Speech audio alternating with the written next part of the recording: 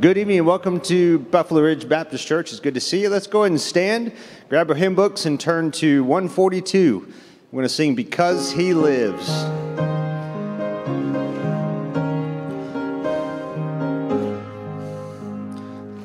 God sent His Son.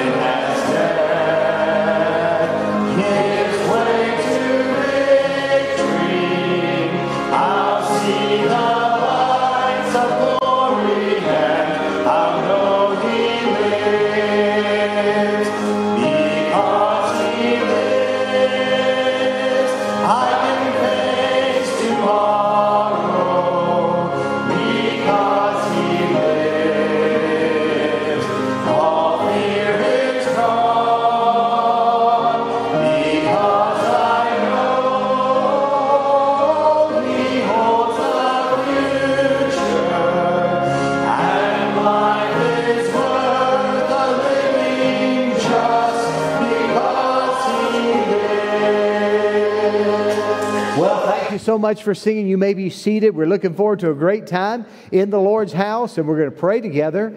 But uh, before we do that, we're going to go over some prayer requests and let you keep up to date on a few things. You've got your prayer list there. I'll mention um, some of them on there, and then some others that possibly aren't, but we'll certainly go over these if you open that up. We're praying this evening for those that are still recovering after some procedures and surgeries and different things. We're praying for Stephanie Stedman, and she was here Sunday, but been in the hospital for a good while. We praise the Lord for her strengthening. Please keep her lifted up in prayer. Praying for Becca Foran over here, and uh, she's uh, was here Sunday, but then here again tonight. So please pray the Lord would just continue to strengthen her and bless her recovery. And then Margie Hales over at NHC, we want to ask the Lord's blessings on her as she's there for rehab. And then praying for Pam Norris, had that hip replacement, but we're praying that she's home and praying that the Lord would just bless her recovery. And then Timmy Akano, and uh, he had uh, surgery as well. And so we certainly, he's having a little bit of a rough time. Please keep him lifted up in prayer. Praying for Jeff Wills as he got sent home from the hospital yesterday. Just pray that uh, the medication that they've got him on would uh, bless in his heart conditions that he's, those heart issues that he's facing. And they did not do any open heart or did not do put a stent in. They're hoping medication can remedy the situation. So pray, pray for him. And then uh, continue to pray for Brother Mitch Perry as well. He's over at Quillen for rehab after his release from the hospital. So please keep uh, praying for these folks and then praying for those in the cancer list there. You see Pat Scalf. Debbie Deacons, Leslie Farmer, Judy Whitson, Karen Cole, and we're praying for Miss Sharon. Continue to pray for her. Pray for Sergio. Pray for Tracy, Kirk, and Lynn Anderson, Miss Edith, and uh, Brother Bob, and then pray for James Ketron as well. And we want to lift all these names up to the Lord in prayer. And then we're praying as well for Joel Johnson, as he would have had um, dialysis today. Pray for Jan Saylor. I talked to her the other day, and she's getting along pretty well. Please keep her lifted up in prayer. Pat Shaw and Lola and Edgar Gamble, just different health concerns going on there. Pray the Lord would strengthen them. Sherry Edens and Sheila Daniels and Jerry and Marcia Scalf. Just um, talked to Marcia, she was in just uh, yesterday, and uh, keep Jerry lifted up in prayer if you would, please. And then Margaret Wood, and uh, she had had some test results got, or tests got back, but they they were thinking they had to do something about some of those compression fractures in her back, but looks like they don't need to. That's from some old injuries, and so that's a blessing. Please keep her lifted up in prayer, though. And then Brother James McEwen, he's got some procedures over at uh, Vanderbilt the extension there in Lebanon, I believe it is. So keep him lifted up in prayer. They went over tonight. That procedure will be tomorrow. And then Miss Leslie Farmer praying for PET scan coming up on the 23rd. And then uh, Billy Snodgrass over at Johnson City Medical Center and uh, his daughter Tammy said that they'd got hospice called in as well. So please keep him lifted up in prayer. And Brother Bob Smith over at Holston Valley, Jeannie Wampler up at Bristol. And so we got a lot of folks to pray for. And we just certainly want to keep them lifted up in prayer. Praying for Estelle McCrae and Ellen Krause over at Abundant Living. And uh, then Cecil Ball as well. And uh, we want you to lift up these names in prayer if you would. Praying for our country, praying for some leadership here in the area, our district attorney and our county commissioner. And then on the right side, you'll notice that we're praying for uh, different missionaries, praying for Henry Bennick. He was here just not long ago. Keep him lifted up in prayer. The Heatons, our missionaries over in the UK. And uh, you remember last fall, I was able to go see them as well when we went over to see the Mullinses. And they're doing a tremendous job. I wish everybody could have been over there. This old church that uh, was uh, just in the heyday would have been, had been uh, a bustling church, but just dwindled down to near nothing and uh, then pretty much nothing. But they uh, got it deeded over to them and it just reopened it as a Bible believing church. And so just keep on praying for the Heatons up in Carlisle in the UK and then praying for the Talbots in British Columbia. And we've got many folks to pray for. I want you to remember this Sunday night is that commissioning service from Miss Summer Scroggs, and we're looking forward to it. Please keep her lifted up in prayer. The Lord would uh, bring in more finances as uh, He knows what all she's going to need on the trip over. And then, of course, the ministry over there, and praying for Maddie Brown as well as she is into deputation towards South Africa, and we certainly want to lift her up in prayer. And then the Abbots are up in Quebec, and uh, we, we want to pray that the Lord would uh, just strengthen them and be a blessing to the people up there as they allow some missionaries to go back and take a little furlough and take care of some issues. And so don't forget to pray for the teens as well. And many of you have been giving, or many of you have been the Chug and Chew down here to uh, help in that way. There's a, a, fundraiser down there at Gray Station Hardware as you come into the deli part. To, uh, and so if you, if you want to come by, that'll help out the young people. Uh, others have just decided to give and help them out. I believe be a worthy cause. And uh, so we challenge you to help out these young people as they go. Kyle, this Sunday night, will give a report about where the young people are as far as what it's taken. I believe it's about $2,200 per kid. Most of that's airfare and uh, the others are food and things. But I think 1,800 of that is airfare just to get them over there and back. Amazing, the parents of teens want them to come back. So it could have cost them $900 cheaper, but uh, they said, no, we want all of our kids back. And so please, um, we'll, we'll, pray for them, but uh, we'll give a report on Sunday night, let you know where they're at, and maybe the Lord move on your heart. And there's also some uh, chaperones that are going, and uh, maybe you'd like to help with those things. And so uh, whatever the Lord leads you to on that way. On the flyleaf, as you turn in, turn it over, I should say, the ministries we're looking at to pray for the, the middle school boys. Please keep them lifted up in prayer. And then praying for the ladies' ministry, my wife, and also Leslie Farmer. And then praying for Miss Stephanie Krause, does a tremendous job in the office, and we thank God for her. And then praying for our Deacon of the Week, Brother Larry, and his wife Linda. And then praying for bus number nine. Would you please lift them up in prayer? The Edwards as the Lord continues to use them to reach people. I love our bus ministry. I think about the mission field that we have right here, and I want you to pray that God would raise up workers to uh, go out and visit in these areas. You say, Pastor, it's harder to get people to come. Well, God didn't, He didn't tell us to go when it was easy, He told us to go. And so uh, pray that the Lord would raise up workers that we could go out and knock on these doors and get folks excited about coming. And so please pray for the bus ministry. Pray for Brother Brent Scroggs over here and Matthew Hayes as they continue to serve the Lord and our nation. And we're thankful for all of that. Those are some of the requests that are on there. Let me make sure I don't have one on this sheet that we didn't get on the other, uh, Miss Judy Whitson had some test results come back this week. Keep her lifted up in prayer. Lord will just continue to show himself strong in her life. And uh, we're praying for Sharon Harmon as well. And maybe I mentioned that on the other list. And then praying for Brother Bill Magnus, still uh, not up to 100%, but uh, keep him lifted up in prayer if you would please. And so those are just some that we wanted to make you aware of. Maybe you've got an unspoken. You like to say, I'm, I've got something heavy on my heart. I've got something I want you to pray about. I do as your pastor, and so I'm going to lift my hand, but maybe you've got something as well. Lord knows those things. You say, What good is that? Well, uh, I, I, believe that we can just pray, Lord, those are heavy on the hearts of people. And I believe we have a prayer answering God. And so we're just going to pray and ask Him to meet these needs, and uh, then we're just going to have the organ play softly through. And uh, as she plays, I want you to just pray. You got your family here, pray together. Pray for the young people downstairs. I believe Braden's preaching to the teenagers. Our intern, he's been down there for the last couple weeks preaching to them. And uh, this week, he's been in there for the last couple, I should say, but preaching this week. So pray for him. Pray for the uh, Patch, the pirate, the young people over there and their services, and then pray that the Lord meet with us. But let's take these requests of the Lord, okay? Would you play for us?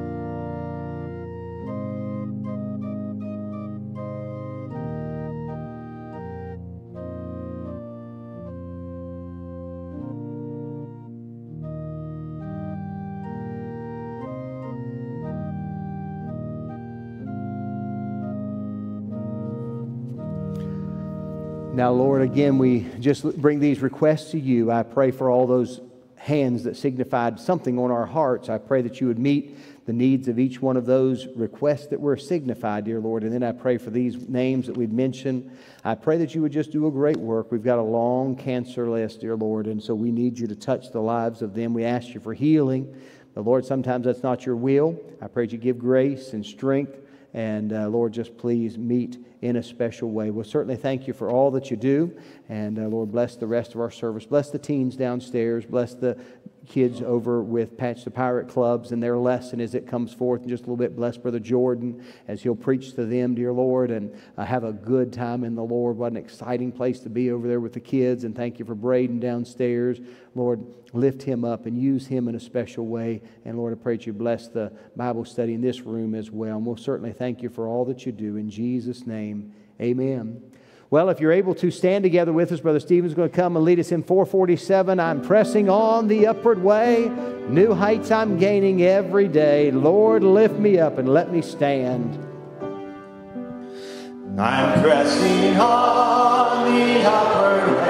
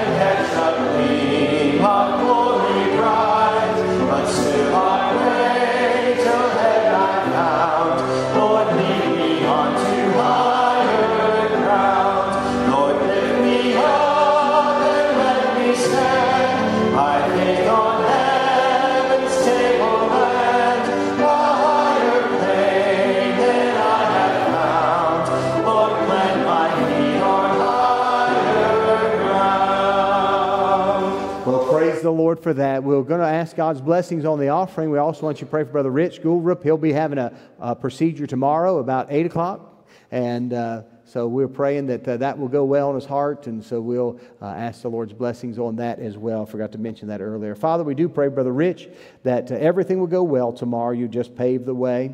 And uh, Lord, we just thank you for your goodness in that. Now, Lord, we come to this time of the offering. I praise you take it and use it for your glory.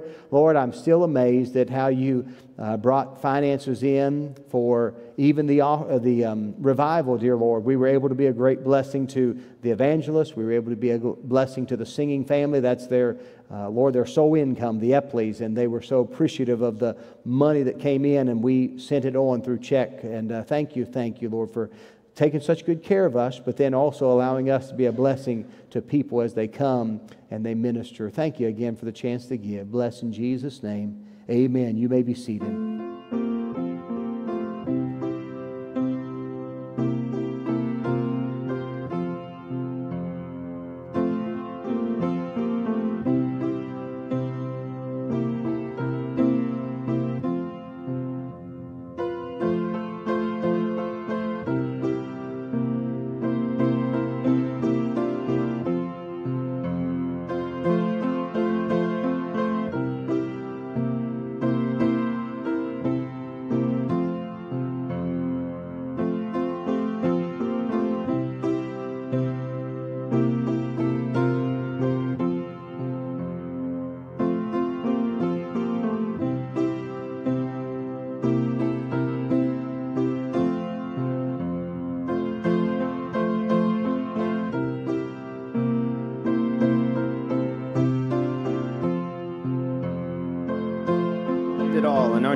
That we have can trust in someone who has planned every single detail of our life? Number 237, my father planned it all.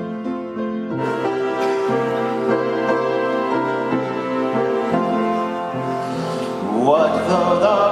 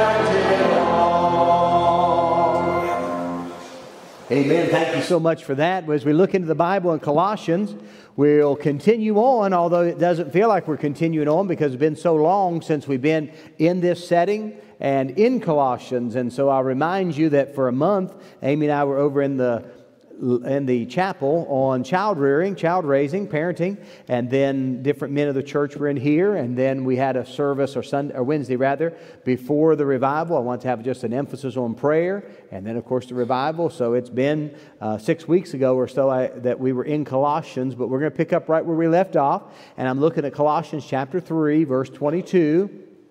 And if you got a handout on the way in, then you can use that along the way if you choose to. But we're looking at this, and this is that, about that work life directives, meaning how we work and how we live and how we behave ourselves. And so there's a discussion going on right now and uh, indicating that God was somehow okay with slavery. Now, usually this is people that uh, want to critique or want to criticize, rather, the Bible and tear it apart and deny it, anyways. They'll look at passages and they'll say, well, God's condoning slavery.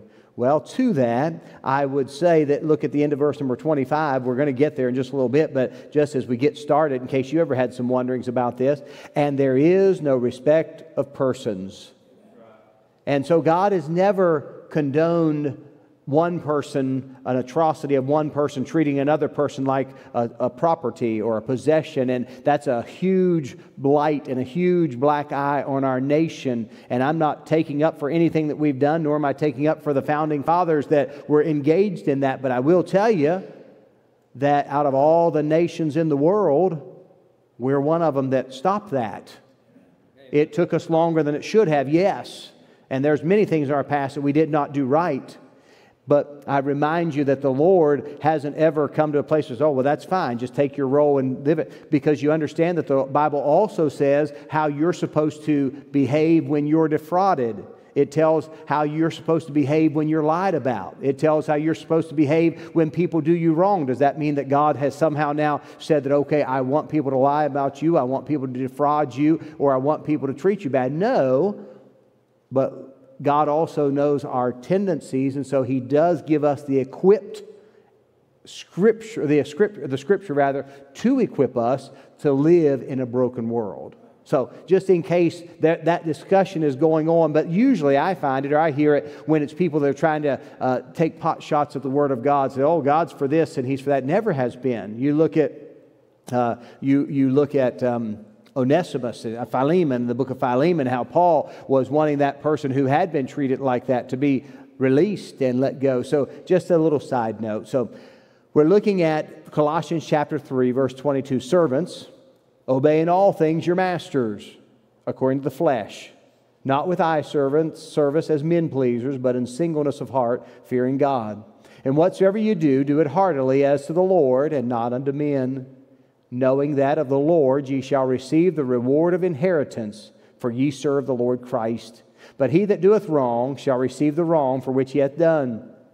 And there is no respect of persons. You'll slip down to the next chapter, but it really fits up with the that book, that, that chapter. There was the chapter divisions aren't inspired necessarily, it's just that this is the way that the uh, translators put it down. Masters, give unto your servants that which is just and equal knowing that you also have a master uh, in heaven. So I want to look at this thing. In this section, we see how to handle ourselves, whether you're the supervisor in today's culture, in our world, if you're the supervisor or you're the subordinate, if you're the employee or the employer. And in other times, when people truly did engage in that lifestyle that wasn't right, that uh, they, they owned and had servants of people. But the same thing would be true if you uh, come into a servant position. We're all supposed to be servants. But in this way, we see the directives given to you and I how we're supposed to behave. And I trust the Lord will help us. I'm going to stop a little bit early because we've got a video that I'd like to show from one of our missionaries that they've asked us to, um, to not live stream it. So we'll get started here and then we'll stop in just a little bit and show a good video. Lord, bless us now as our prayer. I ask you to give us your touch this evening, and I pray as the word gets into us, Lord, that you would change us through it. And we'll thank you for it in Jesus' name. Amen. So there needs to be this heavenly look in our secular jobs somehow, sometimes people have this thought well, you, pointing at me, you have a heavenly job. Well, that's true. I am trying to work for heaven's sake. I'm trying to tell people about the Lord. But you, if you, even if you don't do what I do, you have a, a, heavenly aspect to your job as well because all of us can labor, whether therefore you eat or drink or whatsoever you do, do all to the glory of God. We understand that we have this heavenly aspect, this secular job, but a heavenly look. And so we're looking at the upward look of our work. Where is it that we're supposed to be landing as we look into our jobs that God has given us? Well, we know that he tells us here how we're supposed to live, how we're supposed to behave, how we're supposed to be employed. So we see that we're supposed to fear God in verse number 22. Obey, your, obey in all things your masters according to the flesh, not with eye service as men pleasers, but in singleness of heart. Why? Fearing God. So I can serve God, I can fear God by the way that I work. You can work here at Buffalo Ridge, or you can work at Eastman, or you can work at uh, uh, some government agency, or you can work somewhere uh, down in Johnson City, you can work in Bristol, you can do all these things. But you and I, my friends, we may not be alike in what job we have, but you, we you and I are alike in that we can please God in what we do. If I'm a teacher, if I'm an administrator, if I'm an employer, or whatever I am, I ought to fear God. You say, why is that important? Well, there are employees. If you've got people under you, there are employees that are counting on you to be a God fearing employer.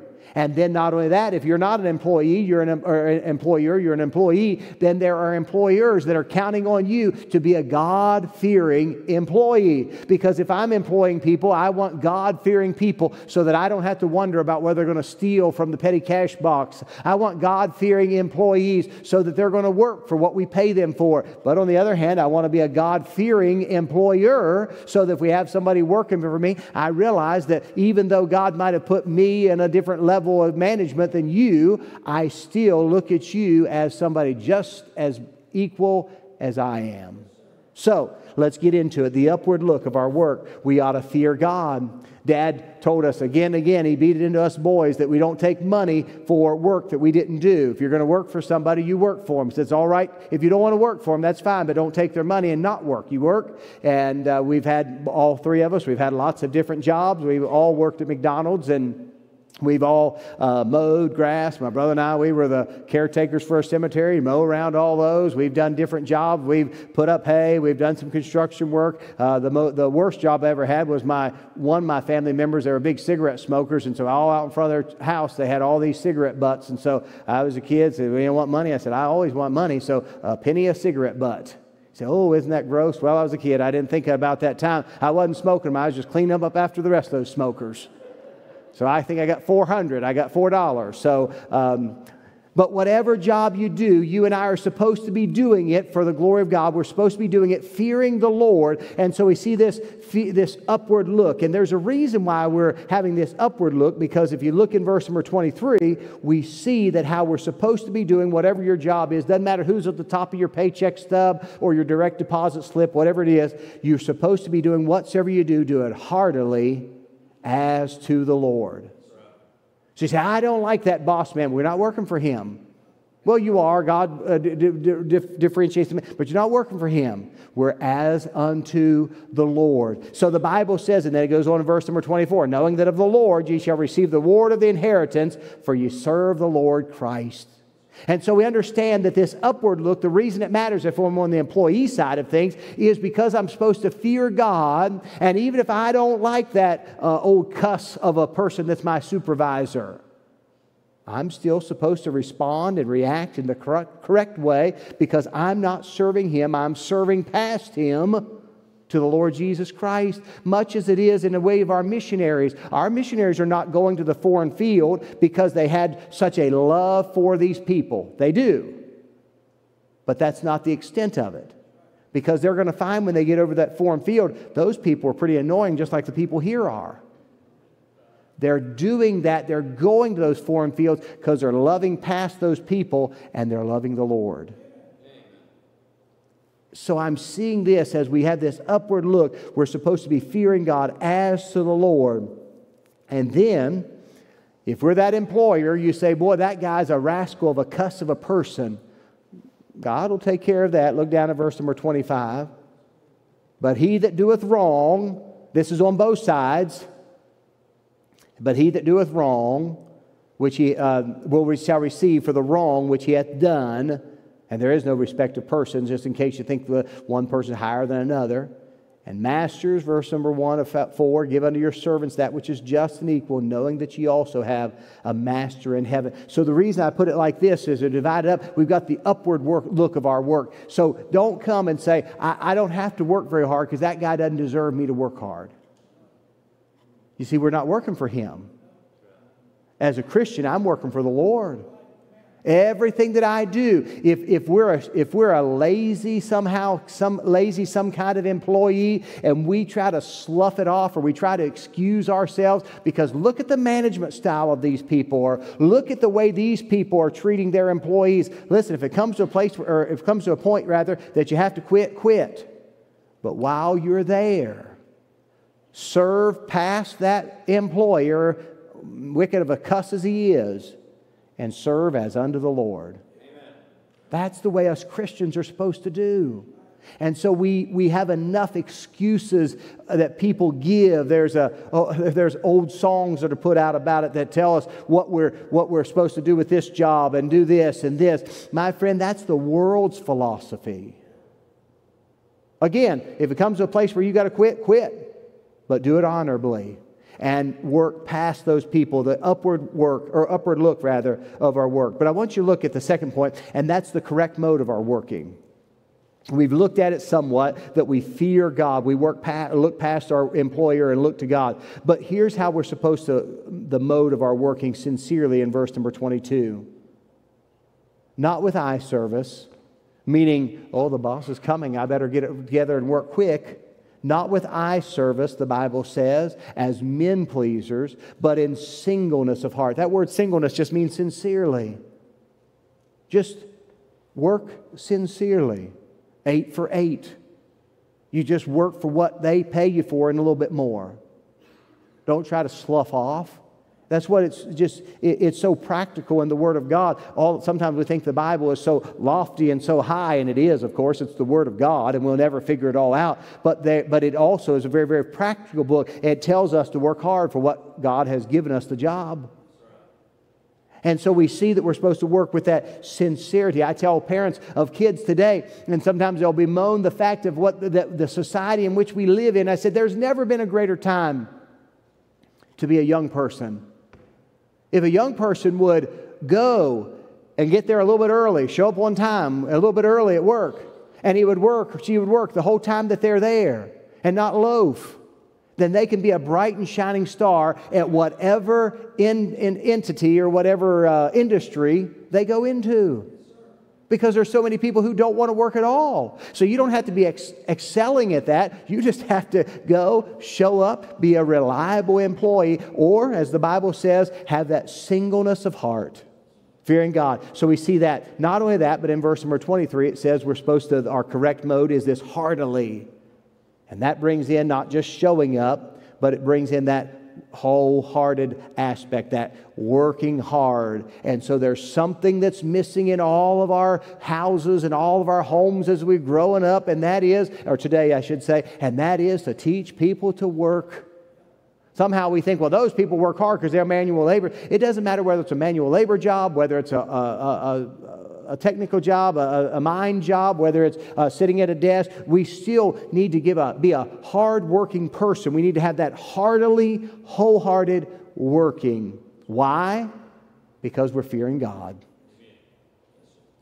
Truly, at the end of the day, like we do everything else, Lord, did I please you? Not did anybody write me up because of my lack of, dis- my lack of uh, enthusiasm. That should be so low on the list of our Christian work or our Christian ethics as we work that you don't even notice it. Well, did I get caught? Did they see me?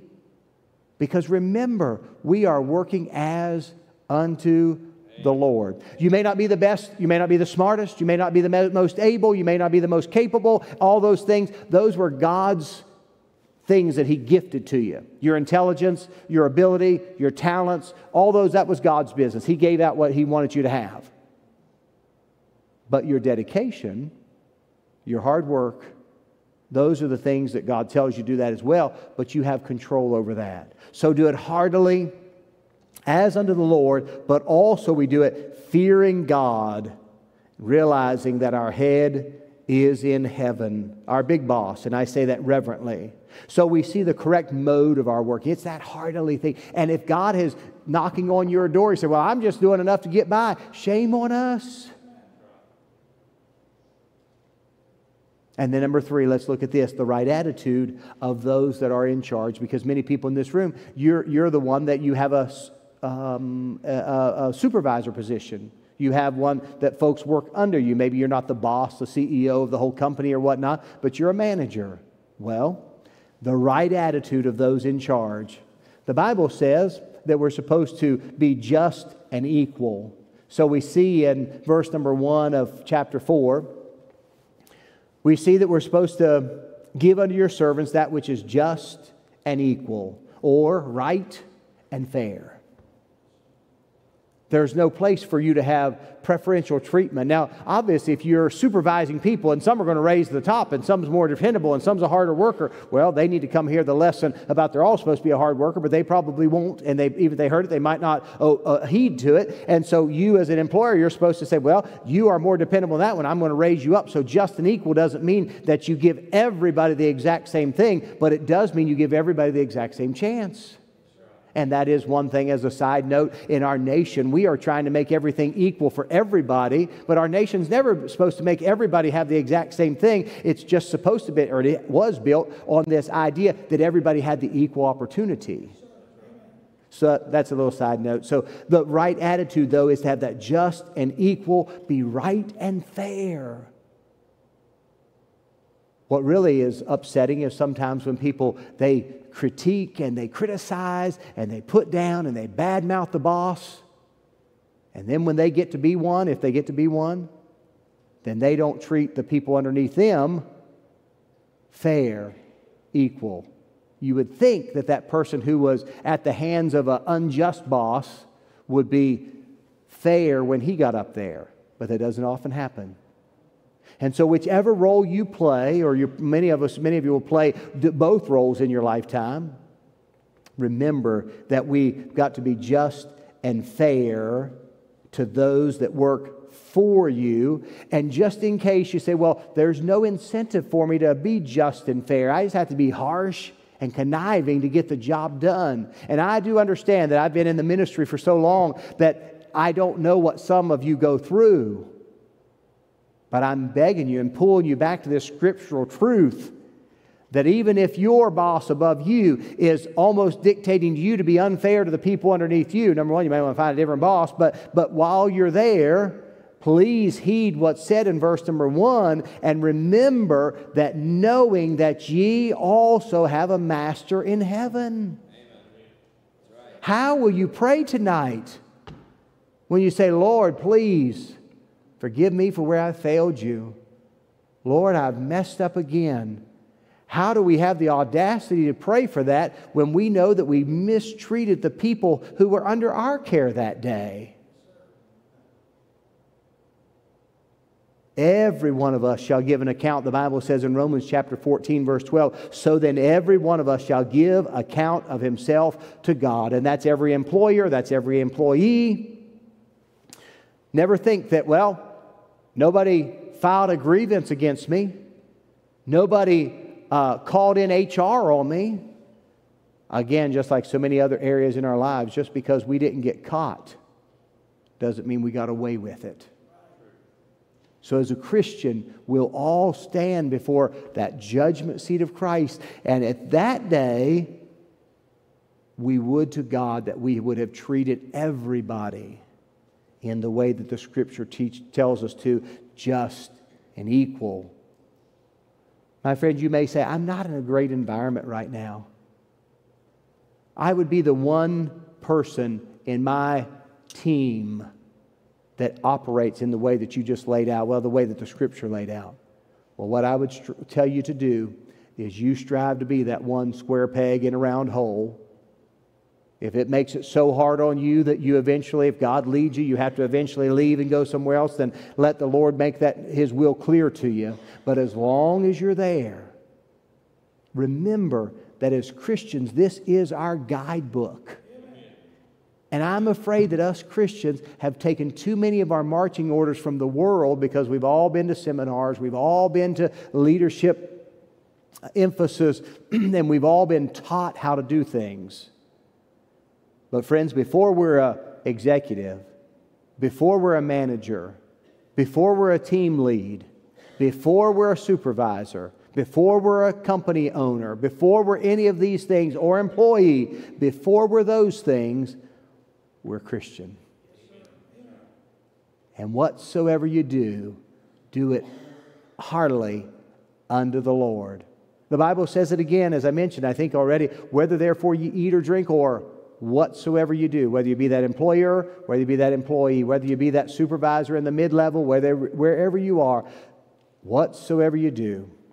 So the scripture tells us how we are supposed to get that done. Sunday school, which I love, started not in this country, but in England, as so many things did. And Sunday school was not necessarily, at first, it was not necessarily something to get the gospel truths across to them. That was normal for them to get the gospel truth because the people that were starting these Sunday schools were Christians, and so they're going to bring them in. But the reason they were started was because, primarily, because of a bunch of what they would call urchins unwanted children that were all around London and the, and the likes. And these forgotten people of society were the reason that the pioneers of Sunday school started bringing those children in because nobody else wanted them. They were teaching them lots of things, of course, the most important being the gospel. But as they were teaching them these things, there was a reason because they were, they were just the stain on society, so people thought. But one element of that was these little folks, children, were used to do some of the dirtiest and hardest jobs around there. And one of them were, was being chimney sweeps. You've all seen different shows that would depict that, that old, old Disney movie and the, of, of the chimney sweeps and things. Well, they would uh, use that, so history would tell us in England, they would use them because they were small in stature, these young people, very, very young, and they would put them up those chimneys to sweep that old soot and that, um, that that's all the, all the soot and, and, the, and the trash out of those. Well, many of those places, they did not even want to let those chimneys cool because that would mean a, a stop in business, especially if it was a, a, a shop. And so they would send them up in those places way before they should have to their own detriment and, and sometimes to their death. And so history would tell us that the old slogan that says, I'm going to light a fire under you, would have come from them because they would literally light a fire under them because they would, they would cry to come back and they would light a fire so they would go up further and, and poke some torches up that way to get them to finish up the job. My friend, do you understand that the people that were involved in horrible things like that and, and things in our nation that we've also been, uh, been involved in that we should never be proud of? If we would just t- take a biblical look at whatever role we play, then it would change everything about how we play it. Not because somebody made us, not because a government agency came down with another regulation, not because we said that that is, that is inhumane and we're going we're gonna send somebody out for OSHA and that, that won't pass. Way before that, in those situations and lots of others, we would have said, I couldn't put a worker in that condition. Why? Because I'm supposed to treat him just and equal. And my friend, whichever role you play in this world, in your company, maybe you're retired, but the same sentiments hold true in whatever realm you're operating in. May we have these remembrances that I'm serving the Lord. If I'm here, here, here, here, here, here, wherever, if I was working at a company, I'd want to work at a company where the janitor was just as important as the CEO. I'd want to work at a company where everybody was valued. I wouldn't need to work at a company where everybody made the same amount of pay because that probably that CEO is probably putting in three times as many hours as maybe that. I, I understand that. But I would want everybody to be valued. And may we operate ourselves. You Say, I can't control my culture of my, my company. That's true. But you can control what you do through the help of the Lord. Father, bless us now as our prayer. Thank you for letting us be in this practical scripture portion. And I pray, dear Lord, that you would have shown some people tonight something different. That, dear Lord, we don't, we don't just try to get all we can get out of an employee that comes our way, We don't just try to bust down on somebody just because we've got the superior title. Lord, that we remember we've got a God in heaven. That we treat people just and equal because we, we are commanded to by you. Bless us, I pray, dear Lord, and we'll thank you for it all in Jesus' name. If you're able to, as they begin to play, would you step, step forward if you like? Come forward. I invite you tonight. Maybe you're somebody that you'd say, Wow, I've been doing it all wrong. I've been doing what I'm su- supposed to, doing enough to get by. Or maybe I've even been lording over some people and I should not. That's right, we should not. Whatever the Lord has led you, and maybe you want to come and pray about something totally unrelated to what I spoke on tonight, but God's dealt with your heart. Would you step out and come? I'd love to meet you down at the front. As they continue to play, here's my last appeal. If you're here tonight, not sure that you're saved. I did not preach on that, but there's a reason why I wanted everybody to understand what a worker or employee or employer does, and that is because we're saved individuals, most of the people in this room. But maybe you're here tonight and you're not saved. You say, Pastor, sounds to me like you're talking about a gospel. You're sound about, talking about something that changes your whole life. That's exactly right. If you're here and you're not sure that you're saved, would you step out and come? Let me take a Bible and show you how to be sure Jesus is your Savior. Heaven's your home.